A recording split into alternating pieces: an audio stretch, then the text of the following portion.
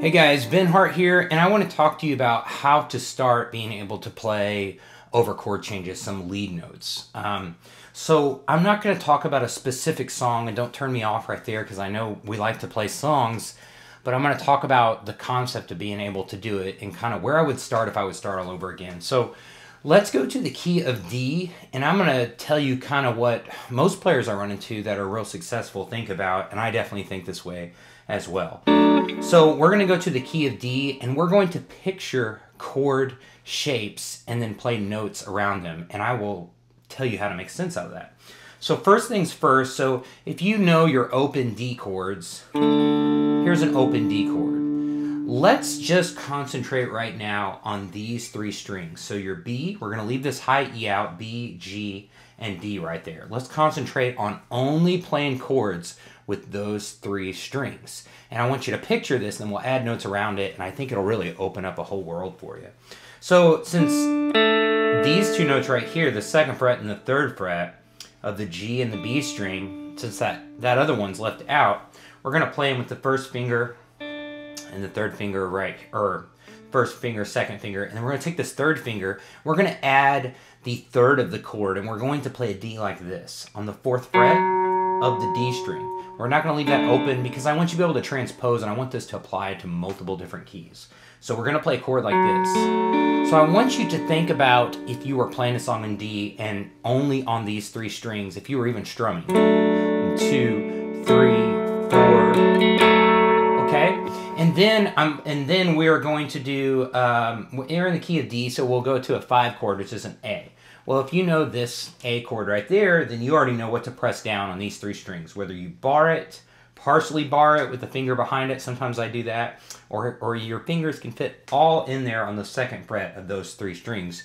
You know how to play an A chord. And then we're gonna go, so D, A,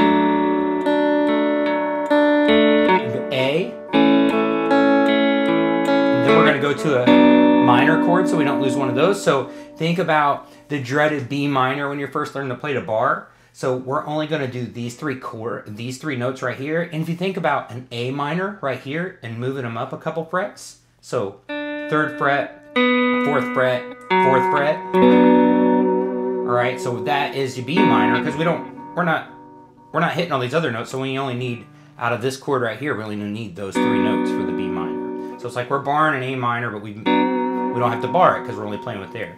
Then also we're going to go to a G chord. Now I know here's an open G right here, but I want you to be able to transpose this, so we'll talk about open chords another day. So here is an F chord. Let's move it up. You know, the dreaded F chord, but we don't have to bar these first two because we're only playing those three, so we're gonna picture this chord. So the chord progression is, we're gonna go to A,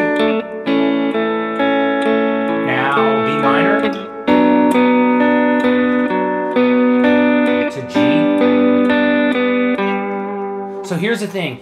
If you can't play a rhythm or even strum through without uh, imagining, these are what we call triads. You hear people talk about triads. These are what they are. It's three note chords, basically. If you can't picture that and can't play it through rhythm, then it's real difficult just to play lead on top of without getting lost, for sure. And when you start throwing chords that are out of the scale and out of the key that you're in, this is going to help you in the long run. But we're going to keep it real simple. So we got these. So we're going to play that D like this.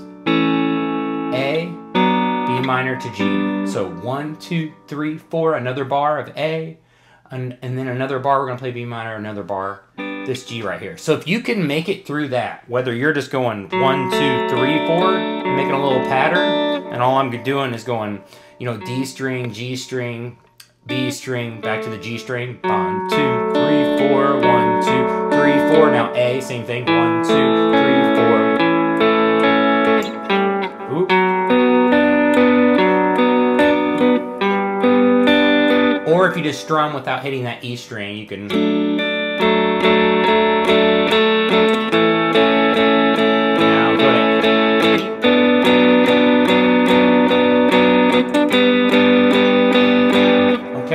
so now that you have that, we're going to talk about the notes that work around that.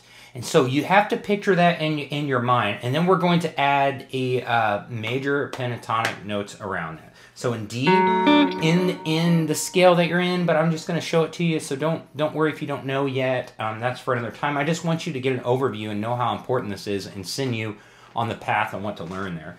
So major pentatonic scale. If I hit a chord at the beginning of each one of those measures and then played a little lick, I would play the lick within the major pentatonic scale, other than the minor. Obviously, I'd play a minor pentatonic scale. Um, so here we go. I could go one, two, three, four. So I played a lick within those five notes of the of the major pentatonic D scale because we're in a D chord, but we're headed to A. So we can go two, three, and now I know here's a A, two, three. Now B minor,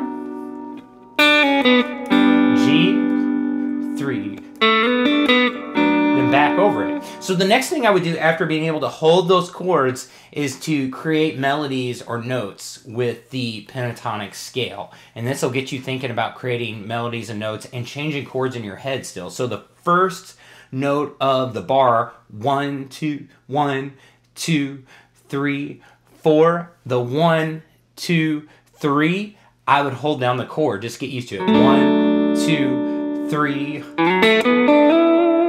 And then I would go, then I would go, and then I would hit another chord. Two, three.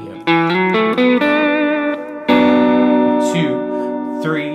And even if that's only two notes, or just the arpeggio of it, just the, notes there. Two, three. And maybe that's what I would do first. I would hit the, I would create melodies or licks with just the notes that you're pressing down. One, two, three, two, three. Maybe slide into it. Nah, let's not do that. Two, three. And I don't do them in right, perfectly in order. I went two, three.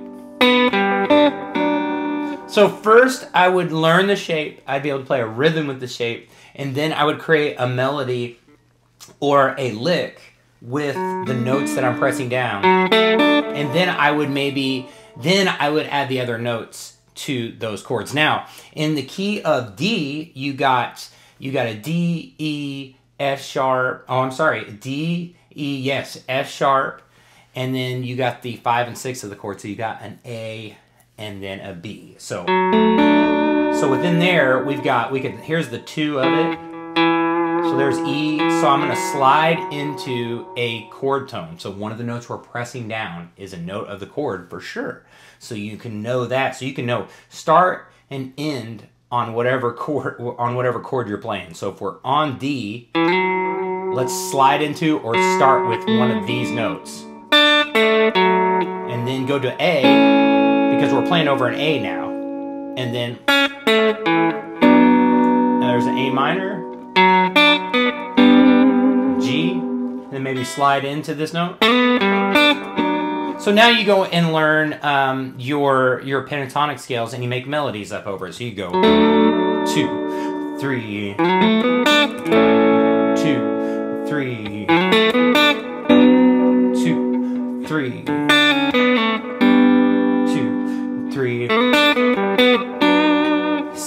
And then you're picturing those chords, and then eventually, once you have that and you're really picturing those chords and you can grab that, then you can just play lead and picture those the whole time and slide into those chord tones. So you could go.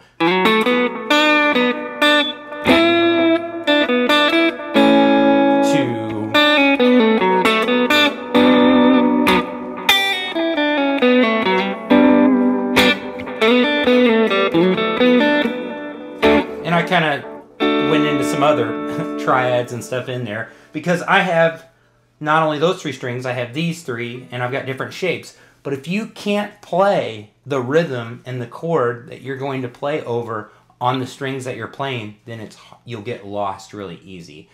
So, strum, make a chord progression, whatever that may be in a key.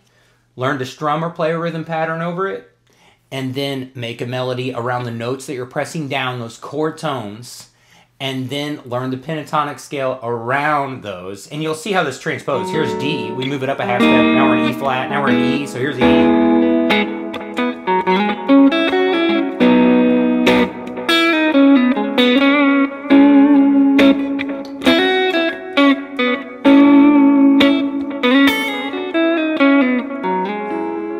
And it's easy to hit harmony notes and slide into them because you know all these notes of the chord that you were playing. So there's an over- overview of how to start playing actually what they call the CAGED system.